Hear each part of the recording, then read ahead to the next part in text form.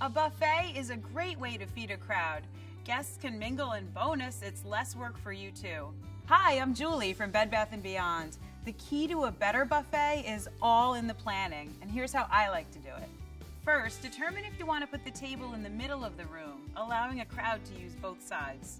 Or against a wall, great if you don't have a ton of space. Start with a tablecloth that fits the style of the party. Place a big stack of plates at the buffet starting point. Then plan the rest of the buffet's layout. One tip multiple levels created with tiered serving pieces and pedestals can maximize space and gives the buffet visual appeal.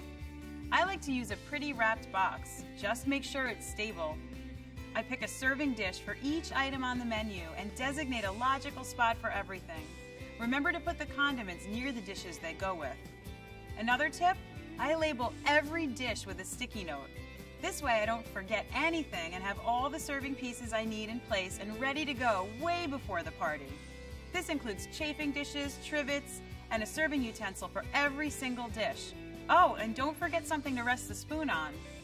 One last secret, arrange silverware in a caddy or rolled up in a cloth napkin at the end of the table. That way guests don't have to juggle forks and knives while they fill their plates.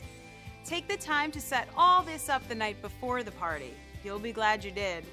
Now we're ready to feed a crowd the easy way.